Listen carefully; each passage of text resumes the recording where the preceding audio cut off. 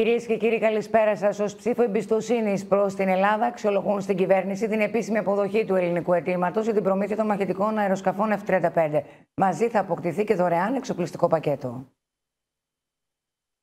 Σημαντική χαρακτήρισε τη σημερινή ημέρα για την εθνική άμυνα και τη διπλωματία της Ελλάδας ο Πρωθυπουργός Κυριάκος Μητσοτάκης σε δήλωσή του μετά την επίστολη του State Department προς το Αμερικανικό Κογκρέσο, με την οποία δίνει το πράσινο φως για την πώληση μαχητικών αεροσκαφών F-35 στη χώρα μας.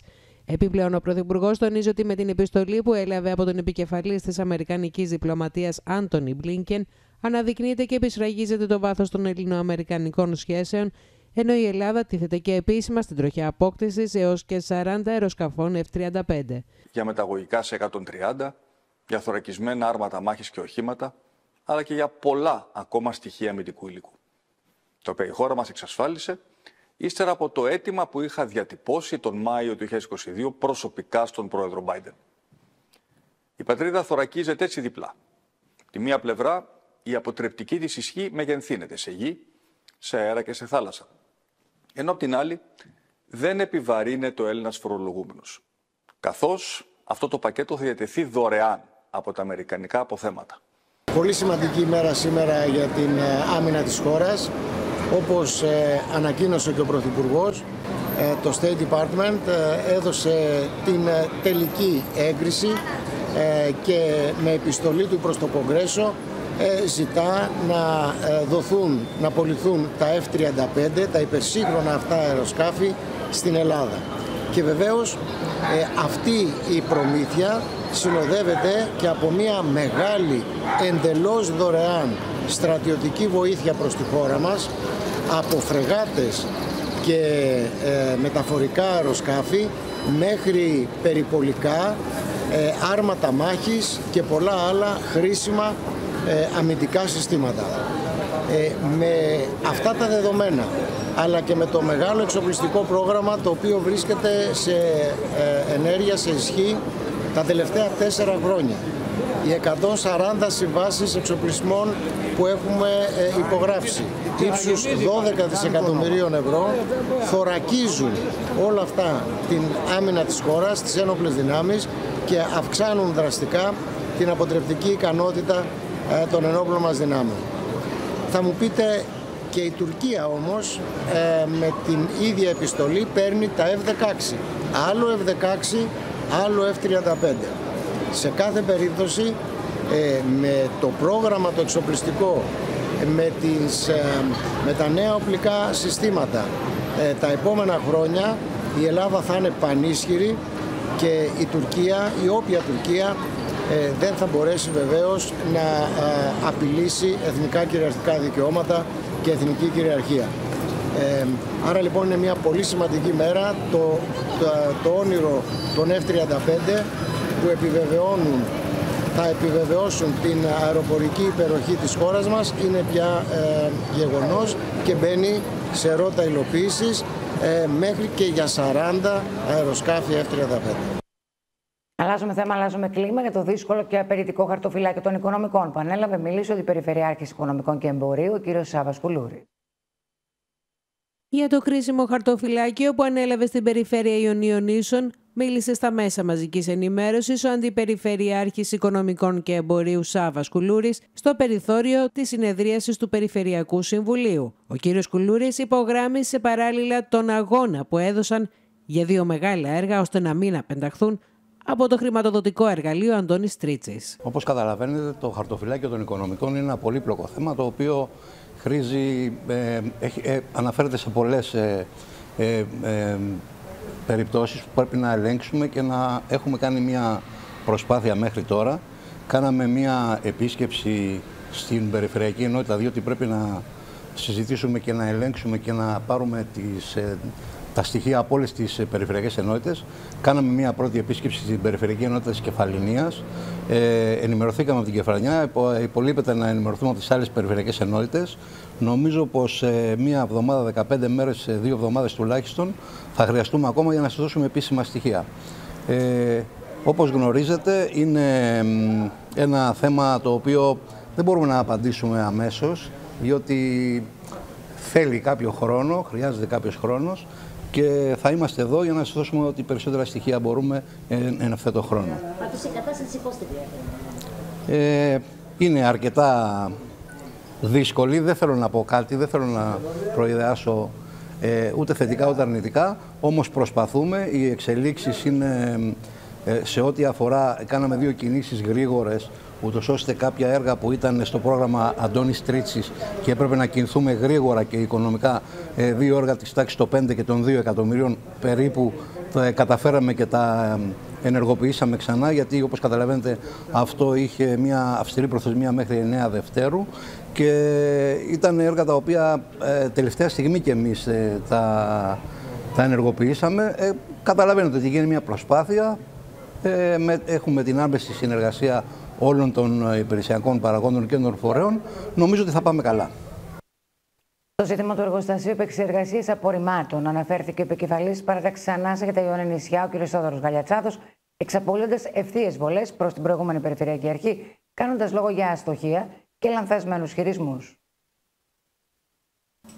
Το καυτό ζήτημα του εργοστασίου επεξεργασίας απορριμμάτων ανέδειξε και πάλι η Περιφερειακή Παράταξη Ανάσα για τα Ιόνια νησιά με επικεφαλής στον Θεόδωρο Καλιατσάτο στο Περιφερειακό Συμβούλιο που διεξάγεται Σάββατο και Κυριακή με αφορμή την τελευταία εξέλιξη σε ό,τι αφορά το θέμα, την οποία ο κύριος Γαλιατσάτος χαρακτήρισε δυσμενή ενώ τη χρέωσε σε αστοχία στην διαχείριση του ζητήματος από την προηγούμενη Περιφερειακή Αρχή. Του εργοστασίου των απορριμμάτων με την εξέλιξη αυτή η οποία είναι δυσμενής ε, είναι και αυτή μια μεγάλη αστοχία της προηγούμενης περίοδου. Σκεφτείτε ότι ε, από το 19 που ξεκίνησε αυτή η ιστορία ε, με τις προσπάθειες αρχικά της Δημοτικής Αρχής και εν συνεχεία του Φορέα Διαχείρισης Τερών Αποβλήτων με την επιμέλεια της κυρίας Περιφερειάρχη έχουμε συνεχώς αναβολές ε, σε, σε, αυτό που είναι το ζητούμενο, δηλαδή τελικά την κατασκευή ενός εργοστασίου διαχείρισης των απορριμμάτων στην Κέρκυρα. Τώρα λοιπόν βρισκόμαστε σε ένα διέξοδο και το ερώτημα είναι ποια θα είναι η επόμενη μέρα, εάν τελικώς πρέπει να δουλέψουμε με αυτές τις προδιαγραφές που είχε το εργοστάσιο αυτό, ή αν θα πρέπει να επιλέξουμε μια άλλη τακτική ε, η οποία θα πρέπει ε, να ολοκληρωθεί όσο το δυνατόν περισσότερο σύντομα, να έχει τη δυνατότητα χρηματοδότησης από τις ευρωπαϊκές αρχές και ταυτόχρονα να απαλλάξει την Κέρκυρα και τους Δήμους της Κέρκυρας από το τεράστιο φορτίο που έχουν να πληρώνουν τη μεταφορά των απορριμμάτων στην, ε, στην ε, υπόλοιπη Ελλάδα. Είναι λοιπόν καυτό ζήτημα. Ε, φαντάζομαι ότι μετά τις δηλώσεις του Περιφερειάρχη θα κάνουμε κάποια συζήτηση σε ένα προσεχές Περιφερειακό Συμβούλιο, αλλά δεν πάβει να, να μας απασχολεί ε, και να είναι στην πρώτη γραμμή του ενδιαφέροντος. Το Εθνικό Αθλητικό Κέντρο της Κέρκυρας και τα προβλήματα που αντιμετωπίζει ήταν ένα από τα θέματα που απασχόλησαν την πρώτη μέρα συνεδρίασης του Περιφερειακού Συμβουλίου Ιωνίων Νήσου. Το θέμα του πολύπαθου Εθνικού Αθλητικού Κέντρου Κέρκυρας ήρθε για μία ακόμη φορά στο προσκήνιο, καθώς ήταν ένα από τα θέματα που συζητήθηκαν την μία εκ των δύο ημερών που διεξάγεται το Περιφερειακό Συμβούλιο Ιωνίων Ίσων, κατόπιν σχετικής επερώτησης της παράταξης Λαϊκής Συσπήρωση με επικεφαλής την Αλεξάνδρα Μπαλούγια, με το κείμενο της επερώτησης να αναφέρει ακριβώς τα εξής πόσο ακόμα θα παραμείνεις σφραγισμένο και καταλελειμμένο το Εθνικό Στάδιο Κέρκυρας, τι θέση παίρνει η Περιφερειακή Αρχή; Οι απαντήσεις που πήραμε σχεδόν ήταν ίδιες που ακούγαμε και στην προηγούμενη περίοδο, ότι ο αθλητισμός είναι πολύ σπουδαίος και ότι είναι προτεραιότητα της νέας Περιφερειακής Αρχής για να μπορέσει να δώσει λύση στην απαράδεκτη αυτή κατάσταση. Ακούσαμε ξανά ότι θα περιμένουν τον καινούριο Υπουργό τώρα για να ξαναενημερωθεί. Θα ασκήσουν φυσικά πιέσεις ώστε να πάρθουν μέτρα και κυρίως, όπως υπόθηκε, ε, στην αλλαγή της διοίκησης στο ΕΑΚ. Εμείς αυτό που θέλουμε να τονίσουμε και το είπαμε και μέσα είναι ότι και ο Υπουργός γνωρίζει και ο καινούριος και ο προηγούμενος και ο Πρωθυπουργός ήρθε εδώ και υποσχέσεις ακούστηκαν και μεγάλα λόγια ακούσαμε, όμως το ΕΑΚ και το στάδιο παραμένεις σφραγισμένο, εγκαταλελειμμένο και έτοιμο, ετοιμόρροπο. Εκ μέρους της Περιφερειακής Αρχής, απάντηση έδωσε στα μέσα μαζικής ενημέρωσης ο εντεταλμένος Περιφερειακός Σύμβουλος Αθλητισμού Γιάννης Αρμενιάκος, ο οποίος υπογράμμισε ότι είμαστε διατεθειμένοι ακόμα και να κλείσουμε τελείως το ΕΑΚ προκειμένου να αναδείξουμε το πρόβλημα καθώς την εβδομάδα που μας έρχεται αναμένεται επίσκεψη από τον αρμόδιο Υπουργό. Τα του ΕΑΚ είναι γνωστά. Ο Περιφερειάρχης με την ανάληψη των καθηκόντων του είχε πάει στην Αθήνα και είχε συνάντηση με τον κύριο Βρούτσι. τον Υφυπουργό Αθλητισμού. Τέθηκαν όλα τα θέματα. Το επόμενο διάστημα ο Υπουργός θα κατέβει στην Κέρκυρα να δει ο ίδιος και να διαπιστώσει τα προβλήματα. Εμείς είμαστε διατεθειμένοι ακόμα και να κλείσουμε όλο το ΕΑΚ προκειμένου να αναδείξουμε το πρόβλημα. Έχουμε κάνει κάποιες παρεμβάσεις, έχουμε παραλάβει κάποια άλλα έργα ε, από την προηγούμενη Περιφερειακή Αρχή. Έχουμε ενημερωθεί, ενημερωθήκαμε και από τον Πρόεδρο του ΕΑΚ, ενημερωθήκαμε και από τις υπηρεσίες. Τα προβλήματα είναι πάρα πολλά. Θα προσπαθήσουμε να κινηθούμε σε μια κατεύθυνση επίλυσης των προβλημάτων.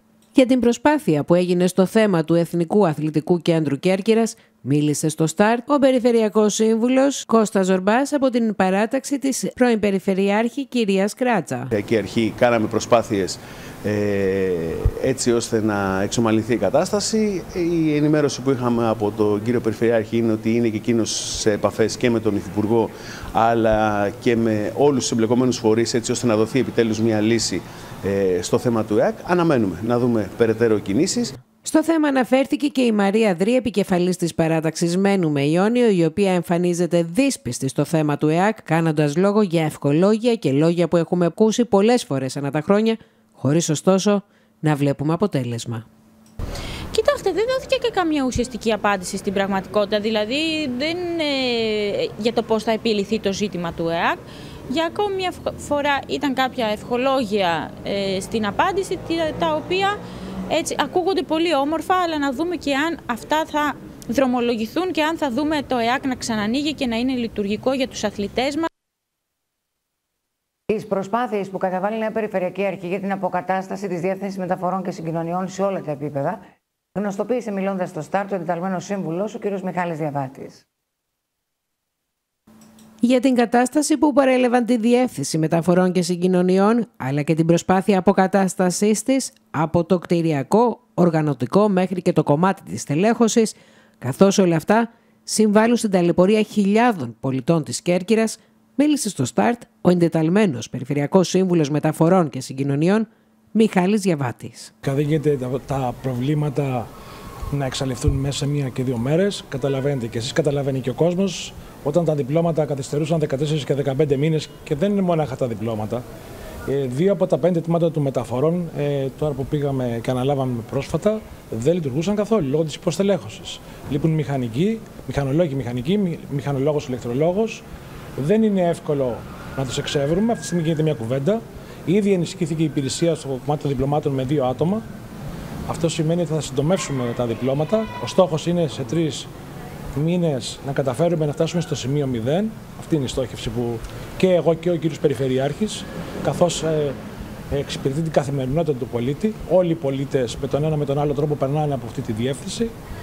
Ε, ήδη αυτή τη βδομάδα θα υπογράψω και για τα μειχτά κλιμάκια που έχουν να λειτουργήσουν από την εποχή, όποιος θυμάται, που ήμουν αντινομάρχης μεταφορών 14 χρόνια πριν. Δεν, σε όλο αυτό το διάστημα αυτό, το κομμάτι δεν λειτουργούσε. Επίσης δεν λειτουργούσαν τα πειθαρχικά. Επίσης δεν έχουν λειτουργήσει ούτε οι έλεγχοι στα πρατήρια, στα πάρκινγκ, στα, στα ε, συνεργεία. Δεν έχει λειτουργήσει τίποτα όλα αυτά τα χρόνια. Φυσικά καταλαβαίνω ότι η υποστελέχωση είναι ένα θέμα. Δεν είναι μόνο αυτό. Το παλεύουμε κομμάτι-κομμάτι. Είμαι εκεί καθημερινά. Η υπηρεσία στο επόμενο διάστημα πρέπει να δείξει ότι είναι και η υπηρεσία και εμφανισιακά. Ούτε δεν έχει συντηρηθεί όλα αυτά τα χρόνια. Συνεννοήθηκα με τον ιδιοκτήτη, θα αυτή εντός λίγων ημερών. Είχε να καθαριστεί πάνω από ένα χρόνο. Τώρα τις τελευταίες πέντε μέρες έχουμε καθαρίσει και καθαρίζεται η υπηρεσία. Και τέλος πάντων μπαίνουμε σε ό,τι είναι αναγκαίο και δυνατό, ώστε ο πολίτης να μπορεί να εξυπηρετηθεί καλύτερα. Και από την περιφέρεια Ιωνίων Νήσων περνάμε στο πρώτο βαθμό τοπικής αυτοδιοίκησης και ειδικότερα στο Δήμο Κεντρικής Κέρκυρας και Διαποντίων Νήσων. Στη βιώσιμη τουριστική ανάπτυξη στοχεύει η αρμόδια υπηρεσία της Νέας Δημοτικής Αρχής Όπως ενημερώνει ο Αντιδήμαρχο ο κ. Σπύρος Χαλικιόπουλο. Παράλληλα, άλλη μια επιδίωξή της είναι η σύμπραξη δημόσιου και ιδιωτικού τομέα για την προβολή του νησιού. Για τα σχέδια της Νέας Δημοτικής Αρχής σε ό,τι αφορά τον τουρισμό και την προβολή του νησιού, αναφέρθηκε ο αρμόδιος αντιδήμαρχος Σπύρος Καλικιόπουλος μιλώντας στο ΣΤΑΡΤ. Ο κύριος Καλικιόπουλος υπογράμμισε μάλιστα ότι η νέα Δημοτική Αρχή έχει ως στόχο να κινηθεί προς την κατεύθυνση της βιώσιμης τουριστικής ανάπτυξης, ενώ την ίδια ώρα επιζητεί τη σύμπραξη δημόσιου και ιδιωτικού τομέα προκειμένου να προχωρήσει στο ίδιο αποτέλεσμα με εκείνο της Χαλκιδικής, όπου η δημιουργία ενός οργανισμού, ο οποίος είναι υπεύθυνο εξ ολοκλήρου για την τουριστική προβολή της περιοχής και ο οποίος είναι βασισμένος σε πολύ καλά πρότυπα, όπως χαρακτηριστικά ανέφερε ο κύριος Καλικιόπουλος. Ο λίγες μέρες είχαμε στο Σαν Τζιάκομο την παρουσίαση του σχεδίου τουριστικής προβολής για το 2024. Ε, πραγματικά μας εξέπληξε πολύ μεγάλη συμμετοχή ε, των ε, εμπλεκομένων τουριστικών φορέων του νησιού μας. Είχαμε καλέσει γύρω στους 18 φορείς και είχαμε συμμετοχή από 30 άτομα, 30 εκπροσώπους. Ε, και πραγματικά αυτή ήταν μια πολύ ευχάριστη έκπληξη για μας. Ε, το οποίο σημαίνει ότι υπάρχει μεγάλη προσδοκία ε, από τη Νέα Δημοτική Αρχή, ε, των φορέων από τη Νέα Δημοτική Αρχή, αλλά και μεγάλο ενδιαφέρον συνεργασίας μαζί μας. Ε, τώρα περιμένουμε τη Τρίτη, όπου θα κατατεθεί, ο, όπου θα γίνει το Δημοτικό Συμβούλιο και περιμένουμε την έγκριση του σχεδίου τουριστικής προβολής από το Δημοτικό Συμβούλιο ε, για να σταλεί μετά στον ΕΟΤ, όπου, περιμένουμε και με τη, όπου θα, θα, θα, περιμένουμε μετά την έγκριση από τον ΕΟΤ. Ε, και μετά βέβαια προχωράμε στο, ότι θα φτάσουμε στο σημείο του, της, ε, του, της κατάστασης του προπολογισμού μας, που αυτό θα γίνει κατά τον, γύρω στα, στα τέλη Μαρτίου υπολογίζουμε, ε, για να μπορέσουμε και εμείς να προχωρήσουμε, διότι αυτή τη στιγμή υπάρχει μεγάλο θέμα, ε, οποιαδήποτε δράση θέλουμε να κάνουμε, η οποία επειδή δεν έχει ψηφιστεί ο προπολογισμός, ε, δυστυχώς είναι να μας φέρει πολλές δυσκολίες στο κομμάτι αυτό. Πάντως είστε ένας άνθρωπος ε, επιχειρηματίας του τουρισμού και γνωρίζετε πολύ καλά πώς έχουν τα πράγματα. Τι είναι αυτό που θα κυνηγήσετε ως νέα δημοτική αρχή σε ό,τι αφορά το θέμα του τουρισμού; Κοιτάξτε, μια νέα διαχείριση θα κάνουμε ε, σε συνεργασία πάντα με τους, ε, τους τουριστικούς φορείς αλλά και ε, την Περιφερειακή Αρχή, τη Δημοτική Αρχή, τις Δημοτικές Αρχές μάλλον γιατί ε, θα ήθελα πραγματικά να έχουμε μια συνεργασία και ως ε, τουριστικός προορισμός Κέρκυρα και όχι μόνο ως Δήμος ε, Κεντρικής Κέρκυρας ε, και με τους Παξούς βέβαια. Και βέβαια όλα θα βασίζονται στο πρότυπο της βιώσιμης τουριστικής ανάπτυξης. Θεωρώ ότι είναι η ώρα πλέον να προχωρήσουμε σε μια σύμπραξη, να το πω έτσι, του, του ιδιωτικού τομέα με τον δημόσιο τομέα. Επομένως, σκεφτόμαστε τη δημιουργία ενός θα δούμε τη μορφή. Έτσι, επεξεργαζόμαστε διάφορα σενάρια. Αυτή τη στιγμή για μας θεωρώ ότι η πιο κατάλληλη είναι η μορφή που έχει η, ε, η Χαλκιδική η οποία έχει φτιάξει ένα οργανισμό προώθησης ε, ε, και τουριστικής προβολής ε, της Χαλκιδικής. Βέβαια τα οικονομικά του Δήμου γνωρίζουμε αυτή τη στιγμή σε τι κατάσταση βρίσκονται. Με τις δημόσιες υποδομές υπάρχει κάτι να πέσει στο τραπέζι; Κοιτάξτε, δεν θα να πω πολλά πράγματα τώρα. Τα προβλήματα γνωρίζουμε όλοι. Έχει κουραστεί ο κόσμος να ακούει τα προβλήματα και να τα βλέπει καθημερινά, να τα αντιμετωπίζει στην καθημερινότητά του χωρίς να βλέπει κάποια πρόοδο. Ε, εμείς είμαστε μια νέα δημοτική αρχή, όπως και η περιφερειακή αρχή, ε, οπότε θα περιμένουμε να γίνει μια συνάντηση και με τον Περιφερειάρχη. Έχουμε ζητήσει ήδη ε, να συναντηθούμε με τον Περιφερειάρχη μας, τον κύριο Τραπεκλή, και με τους υπόλοιπους ε, ε, δήμους, τους υπόλοιπους δύο δήμους. Οπότε θα ήθελα να περιμένετε λιγάκι να κάνουμε αυτή τη συνάντηση για να μπορέσουμε να σας πούμε έτσι κάτι το πραγματικά σημαντικό και νεότερο. Εξαιρετικά καλά έκλεισε το 2023 όσον αφορά τις προσεγγίσεις κρουαζιεροπλοίων στο λιμάνι της Κέρκυρας. Το 2024 αναμένεται να είναι ακόμα καλύτερη χρονιά για την κρουαζιέρα με την αυλαία να ανοίγει στις 2 Φεβρουαρίου. Πολύ νωρίς ξεκινάει η κρουαζιέρα φέτος και πιο συγκεκριμένα στις 2 Φεβρουαρίου και αυτό αποτελεί το καλό νέο της χρονιάς σε ό,τι αφορά αυτό τον κλάδο του τουρισμού. Όπως ανέφερε στο Start ο Διευθύνος Σύμβουλος του Οργανισμού Λιμένος Κέρκυρας, Σπύρος Ζερβόπουλος.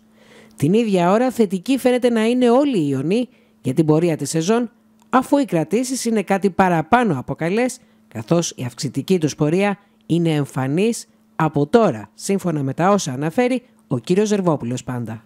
Ε, οι κρατήσεις ε, για την κουραζιέρα είναι πάρα πολύ καλές φέτος.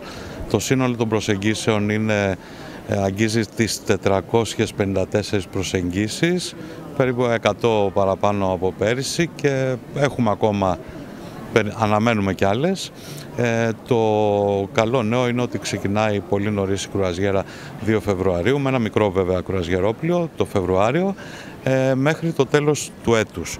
Υπάρχει δηλαδή μια μεγάλη διασπορά όλη τη χρονιά που αυτό είναι κάτι που μας ικανοποιεί γιατί θέλουμε και η πόλη και οι υπόλοιπες περιοχές της Κέρκυρας ε, όχι μόνο στην, ε, στο ζενήθ της τουριστικής περίοδου αλλά και τους άλλους μήνες να μπορέσει η Κρουαζιέρα να αποδώσει κάτι παραπάνω για τον τόπο μας.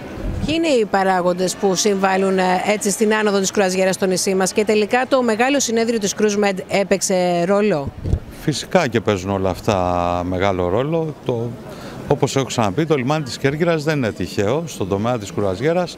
Είναι, ανήκει στις μεγαλύτερες δυνάμεις της Μεσογείου. Ε, έχει πάρα πολύ καλή απήχηση και αντίκτυπο σε αυτό το τομέα. Ε, προσπαθούμε να προσφέρουμε πάντα τις υπηρεσίες που πρέπει σε συνδυασμό με το brand name που λέγεται Κέρκυρα και την τοποθεσία που έχει η Κέρκυρα στο μυχό της Αδριατικής, στη σύνδεση της Ανατολικής με την Κεντρική Μεσόγειο. Ωστόσο, ποιοι είναι οι, οι, ποιες είναι οι εθνικότητες που μας έχουν επιλέξει για φέτος; Έχουμε κάτι καινούριο ή είμαστε σταθερά και στις παραδοσιακές μας αγορές; Ε, έχουμε και καινούρια πλοία φέτος που θα έρθουν. Από εκεί και πέρα οι εθνικότητες συνήθως είναι οι Βόρειο Ευρωπαίοι, ε, Γάλλοι, Άγγλοι, Σκανδιναβοί και λοιποί. Πέρσι πήγαμε πάρα πολύ καλά και στους Αμερικάνους. Ε, και αυτό είναι κάτι που γνωρίζουμε όλοι ότι ο Αμερικάνος πελάτης είναι ένας πελάτης ο οποίος και γνωρίζει την Ελλάδα και πιστεύουμε ότι θα ξαναέρθει και στην Ελλάδα με άλλους τρόπους. Οπότε αυτή τη χρονιά λοιπόν που μας έρχεται την προϊονίζουμε με θετικό πρόσωπο. Προσδοκούμε. Επιστροφή κυρίες και κύριοι. Στη ροή των γεγονότων, μια άκρο δυσάρεστη εμπειρία επιφύλαξε η άνοδό μου στη στέγη του Δημοτικού Θεάτρου. Αναφέρει με δημοσίευσή του στα social media ο Δήμαρχο Κεντρικής Κέρκυρας, ο κ. Στέφανος Πουλημένος. Από την πλευρά του τώρα, ο πρώην Αντιδήμαρχος Τεχνικών Υπηρεσιών, ο κ. Νίκος Καλόγερος, δίνει τη δική του απάντηση μέσω social media σε αυστηρό τόνο. Ντροπή για την Κέρκυρα του πολιτισμού αποτελεί η κατάσταση στην οποία βρίσκεται το Δημοτικό Θέατρο. Πολλά χρόνια τώρα ο χώρος στον οποίο φιλοξενούνται πολιτιστικές εκδηλώσεις στάζει ακόμα και την ώρα των παραστάσεων όταν βρέχει ενώ η αίθουσα το χειμώνα είναι παγωμένη. Την Παρασκευή ο Δήμαρχος Στέφανος Πουλημένος ανέβηκε στην οροφή για να δει από κοντά το πρόβλημα και μαζί με τις σχετικές φωτογραφίες άσκησε κριτική στην πρώην Δημοτική Αρχή υποστηρίζοντας ότι αν και για την εκπόνηση της μελέτης έχει διασφαλιστεί κονδύλιο 600.000 ευρώ, εν τούτης λόγω των καθυστερήσεων σύνταξης των τευχών δημοπράτησης, τα χρήματα αυτά μπορεί να χαθούν. Μία άκρος δυσάρεστη εμπειρία επέφυλαξε σήμερα η ανοδό μου στη στέγη του Δημοτικού μας Θεάτρου, αναφέρει με δημοσίευση του στα social media ο Δήμαρχος Κεντρικής Κέρκυρας Στέφανος Πουλημένος. Σύμφωνα με την ανακοίνωσή του, είχα την ευκαιρία να δω από κοντά τη φύση και την έκταση του προβλήματος της στεγανοποίησής της. Εκεί με συνόδευσε ο Αντιδήμαρχος Θωμά Βλάσης και υπάλληλος της υπηρεσίας. Τώρα ψάχνουμε να βρούμε μηχανικούς που θα ετοιμάσουν τα τεύχη δημοπράτησης της μελέτης αποκατάστασης του Δημοτικού Θεάτρου που έχει χρηματοδοτηθεί από τον Ιούλιο του 2020 με 600.000 ευρώ και κινδυνεύουν να χαθούν. Τη δική του απάντηση έδωσε άμεσα μέσω social media ο πρώην Αντιδήμαρχος Τεχνικών Υπηρεσιών Νίκος Καλόγερος. Όπως ανέφερε σχετικά με την δυσάρεστη εμπειρία του νέου Δήμαρχου με την κατάσταση της οροφής του Δημοτικού Θεάτρου. Τους ενημερώνουμε ότι η προηγούμενη Δημοτική Αρχή δημοπράτησε και υπάρχει ανάδοχος ώστε να μονοθεί η πίσω πλευρά της οροφής του θεάτρου. Ήδη ο εργολάβος έχει αφαιρέσει τις παλιές μονώσεις και σε συνεργασία με την επίβλεψη θα προχωρήσει στη θεραπεία του τμήματος αυτού. Επίσης, εξασφάλισε χρηματοδότηση για την εκπόνηση μελέτης εφαρμογής μέσα από το πρόγραμμα δημοσίων επενδύσεων, ώστε να μπορέσει ο Δήμος αμέσως μετά τη μελέτη αυτή να υποβάλει έτοιμα για την ανακατασκευή του σε δύο περίπου χρόνια από σήμερα προπολογισμού 10 εκατομμυρίων ευρώ και πλέον σύμφωνα με πρόχειρες εκτιμήσεις. Να τονίσουμε ότι εξαιτίας του τότε αρχιτεκτονικού διαγωνισμού για το θέατρο, ο οποίος πολύ σωστά έχει εκπονηθεί την δημοτική περίοδο του κυρίου Μικάλεφ και επειδή άλλαξε ο νόμος των δημοσίων έργων, υπήρξε σύγκρουση απόψεων με ερμηνεών μεταξύ τεχνικών υπηρεσιών νομικής υπηρεσίας του μελετητή του πρώτου βραβείου, ο οποίος διεκδικεί την ανάθεση της μελέτης αυτής. Όλο το ιστορικό υπάρχει στις τεχνικές υπηρεσίες καθώς και επικοινωνία με την ΕΑΔΙΣΗ, ενιαία αρχή δημοσίων συμβάσεων και αξιοπερίεργο είναι ότι ο νέος δήμαρχος και τότε νομάρχης δεν έβλεπε την ίδια άθλια ακριβώς κατάσταση του θεάτρου που βρισκόταν απέναντι από το παράθυρό του και σήμερα δηλώνει έκπληκτος. Αλλά στο αφήσουμε για την ώρα αυτό, καθότι η όλη αρνητική προπαγάνδα γίνεται στα πλαίσια του δακρύβρεκτου αφηγήματος που λανσάρει νέα δημοτική σε όλους τους τομείς, ενώ τελικά δεν θα παρεκκλίνει ούτε ένα εκατοστό από τον υφιστάμενο σχεδιασμό. Εμείς από την πλευρά μας θα στηρίξουμε κάθε βήμα προς το στόχο που έχουμε θέσει. Αυτόν τη λύση για το δημοτικό μας θέατρο. Από την πλευρά του και ο βουλευτής Κέρκυρας του ΣΥΡΙΖΑ, Αλέκο Αυλονίτη, σε ανάρτησή του, γράφει ότι χαρακτηριστικά το δημοτικό θέατρο μπάζει από παντού και ειδικότερα αναφέρει.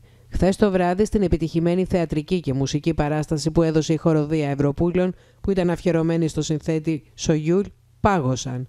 Όπως ανέφερε, παγώσαμε όλοι γιατί δεν λειτουργούσε η θέρμανση και το δημοτικό θέατρο μπάζει από παντού. Εάν δεν τρυπόμαστε ως τοπικό πολιτικό σύστημα και ως δημοτικές αρχές, που μετά από 12 χρόνια η κατάσταση στο δημοτικό μας θέατρο παραμένει τρισάθλια. Να σοφρονίζει τους πολίτες που πετούν ανεξέλεγκτα ογκώδια απορρίμματα σε διάφορα σημεία, τα οποία μετατρέπονται σε άτυπες μικρές χωματέρε. Θα επιχειρήσει η Δημοτική Αρχή. Μέχρι τότε όμως θα συνεχίσουμε να αντικρίζουμε συχνά εικόνες που δεν μας τιμούν να σοφρονήσει τους πολίτες που πετούν ανεξέλεγκτα ογκώδια απορρίμματα σε διάφορα σημεία, τα οποία μετατρέπονται σε άτυπες μικρές χωματερές, θα επιχειρήσει η Δημοτική Αρχή. Βεβαίως, το να διαμορφώσει κανείς συνειδήσεις απαιτεί χρόνο. Συστηματική προσπάθεια χρειάζεται όμως να βρει και ευήκο αότα. Αν αυτό δεν συμβεί, τότε ο κανονισμός καθαριότητας, ο οποίος αναμένεται να περάσει προσεχώς για έγκριση από το Δημοτικό Συμβούλιο, θα κληθεί να συνετίσει τους παρανομούντες μέσω της σκληρής οδού των προστήμων. Μέχρι τότε θα συνεχίσουμε να αντικρίζουμε συχνά εικόνες όπως αυτές. Είναι απίστευτο πόσο ασυνείδητοι μπορούμε να γίνουμε ως άνθρωποι, ως πολίτες αυτού του τόπου που λέμε, υποστηρίζουμε πως τον αγαπάμε. Είμαστε στο πάρκιν, σε αυτό το χώρο που, ο οποίος βρίσκεται δίπλα στο ραδιοφωνικό σταθμό. Η κατάσταση πίσω μου από υπολείμματα ογκωδών που έχουν αφήσει εδώ ασυνείδητοι συμπολίτες μας είναι απίστευτη. Ακριβώς πίσω η κάδη των σκουπιδιών είναι αδιανή. Πρόκειται για την περιοχή της Καλυθέας όπου κυρίως κατά τις βραδινές ώρες πολίτες αδειάζουν ό,τι άχρηστο έχουν στην ιδιοκτησία τους χωρίς να υπολογίζουν ούτε το περιβάλλον ούτε το συνάνθρωπό τους. Στο στάρτ μίλησε ο Αντιδήμαρχος Καθαριότητας Σπύρος Νεράντζης. Από όταν αναλάβαμε και το είχαμε δηλώσει από την αρχή ο στόχος μας δεν είναι μόνο να κρύψουμε τα απορρίμματα, να είναι δηλαδή καθαρός ο τόπος. Αυτό είναι το εύκολο κομμάτι που μπορεί να γίνει. Ο στόχος μας είναι να αλλάξουμε κουλτούρα και νοοτροπία σε όλους μας. Και αυτό θα πρέπει να γίνει σιγά σιγά. Δεν γίνεται η αλλαγή νοοτροπίας και τρόπο συμπεριφοράς στο περιβάλλον και στα απορρίμματά μας από τη μια μέρα στην άλλη. Ναι. Θέλει μεθοδικότητα και θέλει πρωτίστως εμείς, ο Δήμος, να έχει τις δομές που να μπορεί να το υποστηρίξει και μετά να το επικοινωνήσει. Σε αυτή την προσπάθεια είμαστε και στο συγκεκριμένο σημείο η υπηρεσία είναι ενημερωμένη και τι προσεχεί ημέρε, αρχές της εβδομάδας, το έχει αντιμετωπίσει και αυτό το κομμάτι. Ε, δηλαδή, προς το παρόν, επεβαίνουμε σε ό,τι βλέπουμε έτσι και συγχρόνως φτιάχνουμε τις υποδομές για να επικοινωνήσουμε και να αλλάξουμε την οτροπία όλων μας. Αυτό βέβαια θα απαιτήσει χρόνο. Μέχρι τότε είστε διατεθειμένοι, αφού περάσει ο κανονισμός καθαριότητας από το Δημοτικό Συμβούλιο, να τον ακολουθήσετε πιστά; Βεβαίως είμαστε διατεθειμένοι ε, και στη θεωρία των ποινών να είμαστε αποτελεσματικοί και εκεί, αλλά πριν πάμε σε όλα αυτά πρέπει να φτιάξουμε τις υποδομές μας. Θα πρέπει δηλαδή να φροντίσουμε να δίνουμε πρώτα τη λύση και μετά να πάμε στο πρόστιμο.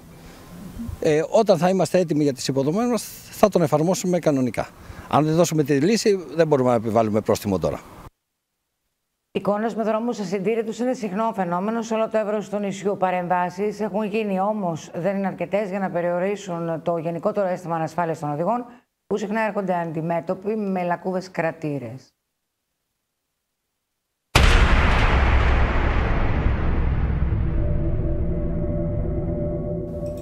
Εικόνες όπως αυτές με δρόμους ασυντήρητους, πληγωμένους από τον χρόνο, είναι συχνό φαινόμενο σε όλο το εύρος του νησιού, όπως και στην πόλη της Κέρκυρας. Παρεμβάσεις έχουν γίνει, όμως δεν είναι αρκετές για να περιορίσουν το γενικότερο αίσθημα ανασφάλειας των οδηγών, που συχνά έρχονται αντιμέτωποι με λακκούβες κρατήρες, προκαλώντας θωρές στα οχήματα, ακόμη και ατυχήματα ιδιαίτερα σε δικυκλιστές. Λακκούβες κρατήρες και πολλές καθιζήσει, ένα πάρα πολύ συχνό φαινόμενο στους δρόμους της πόλης της Κέρκυρας. Βρισκόμαστε σε μια χαρακτηριστική περιοχή, στον δρόμο του Κανονιού. Οι δρόμοι μας πώς είναι, Πολύ χάλια. Ναι. Η αλήθεια είναι αυτή ότι υπάρχει μεγάλο πρόβλημα. Ειδικά με τις λακκούβες. αν πλέον δεν έχεις τζιπ, δεν περνάει στο βορρά. Ένα μαύρο χάλι, ναι, ναι. ναι. Είμαστε δηλαδή στα Ιόνια νησιά, το οποίο αδικημένο. Τα έχουν παρατήσει όλα εδώ και χρόνια, όχι τώρα, εδώ και χρόνια. Από το αεροδρόμιο, η πόλη, η Γαρίτσα, Κανόνι, όλα τα πάντα όλο λάκι. Το δικό δίκτυο της Κέρκυρας τα τελευταία 20-30 χρόνια είναι σε πολύ κακή κατάσταση σε όλο το, σε όλο το νησί. Και, και ιδιαίτερα εδώ στο Δήμο της Κέρκυρας παρά το ότι έγιναν ε, αρκετές παρεμβάσεις την προηγούμενη ε, χρονιά ε, μέσα από προγράμματα του ΕΣΠΑ κυρίως που απορροφήθηκαν ε, στα πλαίσια του δικού δικτύου και οι παρεμβάσεις οι οποίες έχουν γίνει. Όμως παρά τις αρκετές παρεμβάσεις οι οποίες έγιναν οι δρόμοι της Κέρκυρας είναι τόσοι πολλοί που έχουν πολλά προβλήματα και ιδιαίτερος εγώ που έχω μηχανή και κυκλοφορώ όλη μέρα με μηχανή, αντιλαμβάνεστε ότι είναι κίνδυνος θάνατος. Μια πρώτη παρέμβαση δηλωτική των προθέσεων της Δημοτικής Αρχής έγινε στον πόντε της Πλάζ του Μόρεπο. Με υλικά τα οποία διέθεσε ο Πολιτιστικός Σύλλογος Ανεμομήλου, τοποθετήθηκαν υποστηλώματα ώστε να μην καταρρεύσει το ετοιμόρροπο τμήμα του πόντε και να μην καταστραφεί η εξέδρα, που πάντως παραμένει επισφαλής και δεν μπορεί να χρησιμοποιείται από πολίτες. Μια πρώτη παρέμβαση, δηλωτική όμως των προθέσεων της Δημοτικής Αρχής, έγινε στον πόντε της Πλά του Μόρεπο από το Τμήμα Εθελοντισμού του Δήμου και τον Αντιδήμαρχο Τεχνικών Υπηρεσιών σε συνεργασία με την Υπηρεσία Καθαριότητας. Με υλικά τα οποία διέθεσε ο Πολιτιστικός Σύλλογος Ανεμομήλου, τοποθετήθηκαν υποστηλώματα ώστε να μην καταρρεύσει το ετοιμόρροπο τμήμα του πόντε και να μην καταστραφεί η εξέδρα, που πάντως παραμένει επισφαλής και δεν μπορεί να χρησιμοποιηθεί από τους πολίτες. Στα σχέδια του Δήμου είναι να ακολουθήσει μια γενναία παρέμβαση για την πλήρη αποκατάσταση και αξιοποίηση του πόντε. Ανταποκριθήκαμε ε, άμεσα στο κάλεσμα του Πολιτιστικού Συλλόγου Ανεμομήλου. Ε, μας είχαν καλέσει τον κύριο Καρδόνα και εμένα. Ε, πήγαμε, είδαμε τι πρέπει να γίνει και άμεσα ανταποκριθήκαμε. Ο Πολιτιστικός Σύλλογος προσέφερε τα υλικά που χρειάστηκαν και εμείς το Τμήμα Εθελοντισμού σε συνεργασία με τον κύριο Καρδόνα και παιδιά από την καθημερινότητα, εργαζόμενους από την καθημερινότητα και εθελοντές. Υπήρχε δίτης και υπήρχαν και επαγγελματίες ηλεκτροσυγκολητές και κάναμε την παρέμβαση μόνο για να μην πέσει ένα συγκεκριμένο κομμάτι που ήταν έτοιμο να πέσει. Δεν κάναμε καμία παρέμβαση στη στατικότητα, δεν είναι ο πόντες ασφαλής για να υποδεχτεί κόσμο. Προς το παρόν είναι σε αυτή την κατάσταση που είναι, αλλά προσπαθήσαμε να μην πέσει αυτό το συγκεκριμένο κομμάτι όπως είχαμε πει. Τώρα θα ακολουθηθούν όλες οι άλλες διαδικασίες για να μπορεί να παραδοθεί ε, πάλι στο κοινό προς χρήση. Δεν ξέρω να σας πω πόσο ακριβό χρόνο θα πάρει, γιατί θα πρέπει να γίνουν ε, σύμφωνα με τα προβλεπόμενα. Τις αδειοδοτήσεις όλες που πρέπει να γίνουν, γιατί ξέρετε δουλεύει πάνω από 100 χρόνια, αλλά δεν έχει άδεια λειτουργίας. Γιατί έτσι, είχαμε, έτσι δούλευε παλιά το όλο σύστημα. Με αυτεπιστασία και χωρίς αδειοδοτήσεις.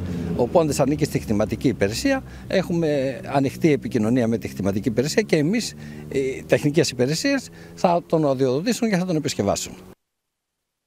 Η σημερινή μέρα, κυρίες και κύριοι, έχει καθιερωθεί από τον ΟΗΕ ως Διεθνής ημέρα μνήμης για τα θύματα του Ολοκαυτώματος. Η μέρα αυτή επιλέχθηκε καθώς στις 27 Ιανουαρίου του 1945 τα σοβιετικά στρατεύματα απελευθέρωσαν το Auschwitz, το μεγαλύτερο στρατόπεδο συγκέντρωσης και εξόντωσης του ναζιστικού καθεστώτος.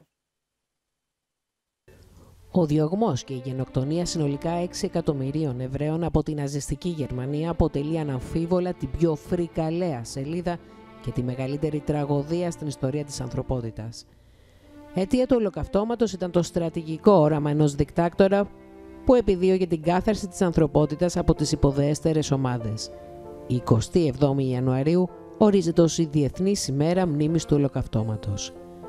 Για την Νίνα Βιτάλ, η 27η Ιανουαρίου αποτελεί ένα τόσο θλιβερό όσο και βιωματικό γεγονός, αφού ο πατέρας της, γνωστός και αγαπητός πολύ στο νησί, Σάμις Βιτάλ, Ήταν ένας από τους ελάχιστους Εβραίους της Κέρκυρας στην ιστορία που γλίτωσαν από την κτηνοδία στο στρατόπεδο συγκέντρωσης της Πολωνίας Auschwitz-Birkenau. Ναι, πραγματικά είναι ένα από τα μεγαλύτερα εγκλήματα που έγιναν στην ανθρωπότητα.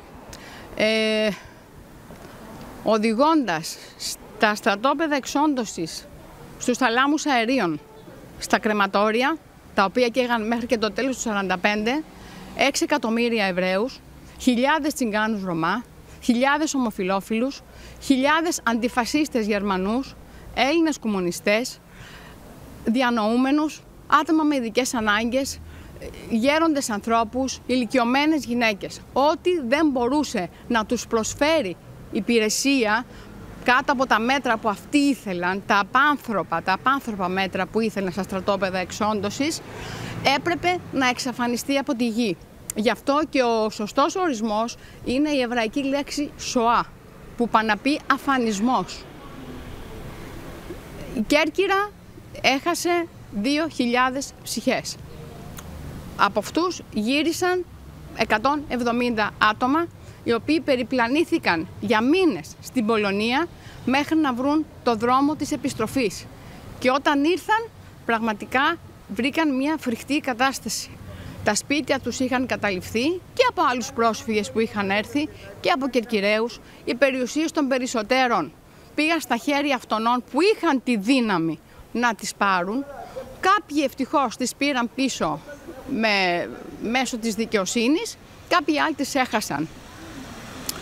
Ε, το μόνο παρήγορο είναι αυτή τη στιγμή που εδώ τα τελευταία χρόνια έχουμε μεγάλη επισκεψιμότητα στη συναγωγή και έχω αναλάβει προσωπικά να μιλάω για την ιστορία των Εβραίων της Κέρκυρας και παίρνοντας βέβαια πολλά στοιχεία από τον μαθηματικό και ιστορικό Γιώργο Ζούμπο, ο οποίος έχει κάνει μεγάλη έρευνα για την εβραϊκή κοινότητα και αυτά να τα μεταφέρω με πάρα πολύ αγάπη στα σχολεία, στα δημοτικά, στους φοιτητές, στους μαθητές γυμνασίου, στους μαθητές λυκείων.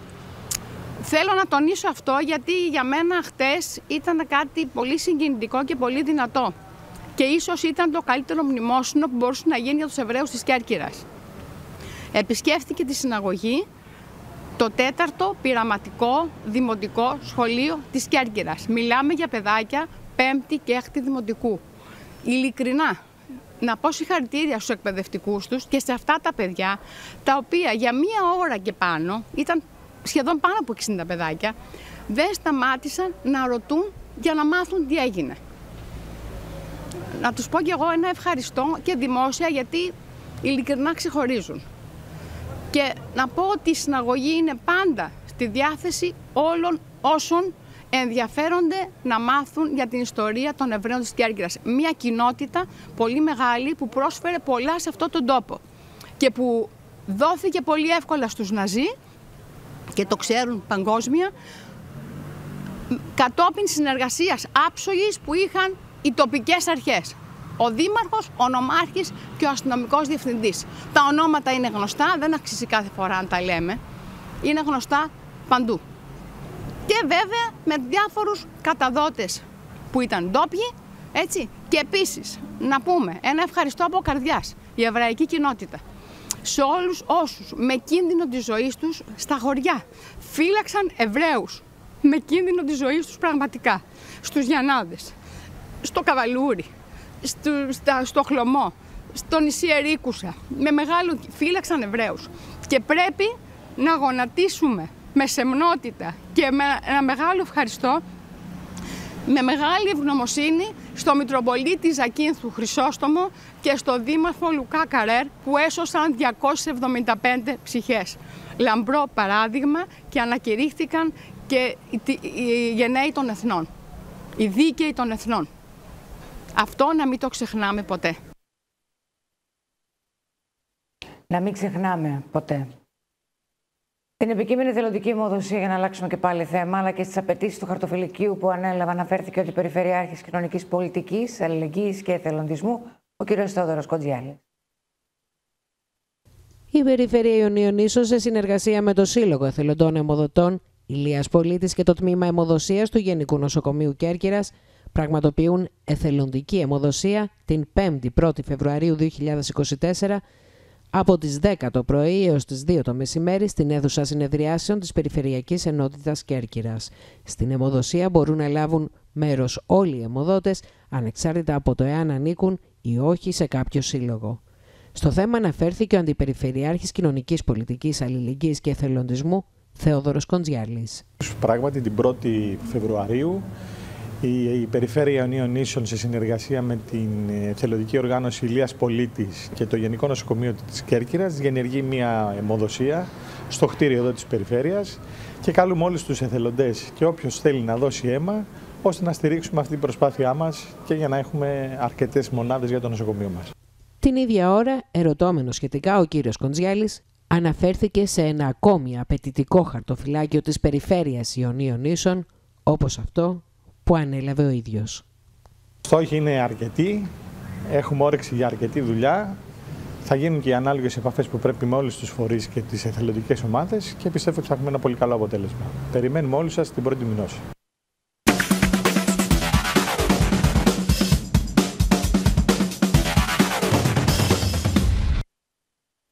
Αθλητική ενημέρωση, κυρίες και κύριοι, μαζί μας τηλεφωνικά η Ματούλα Ανδριώτη. Ματούλα, καλησπέρα.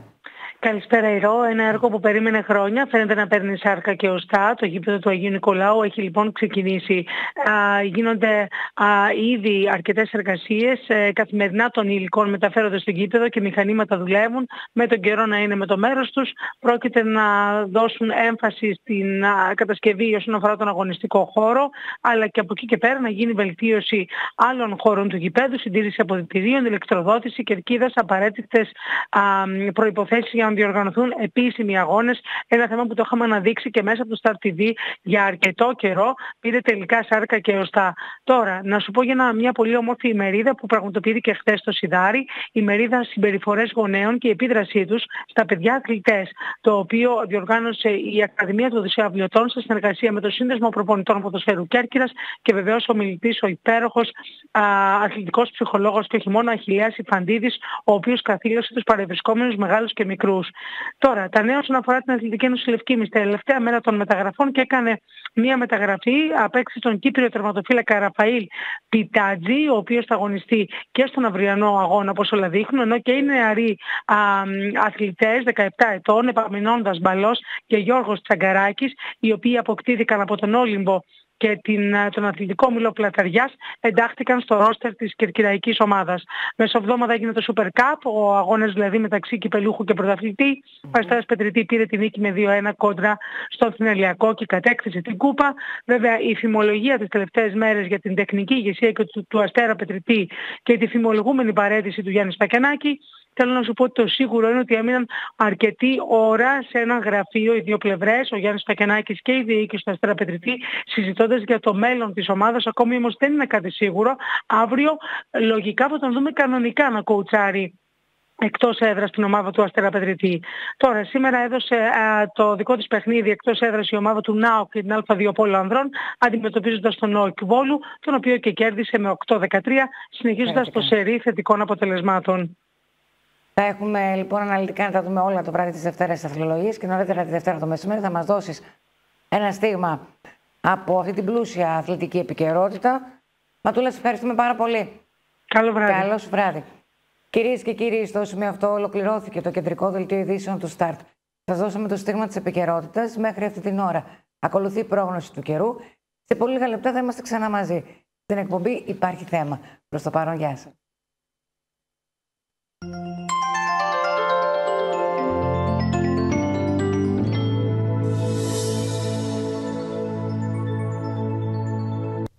Έθριος προβλέπεται ο καιρός καθ' όλη τη διάρκεια της ημέρας. Οι άνεμοι θα πνέουν κυρίως από βόρειες διευθύνσεις. Η έντασή τους δεν θα ξεπεράσει τα 4 μποφόρ, ενώ στα πελάγη θα αγγίξει μέχρι και τα 8 μποφόρ. Η θερμοκρασία θα κοιμανθεί από 10 έως 13 βαθμούς Κελσίου.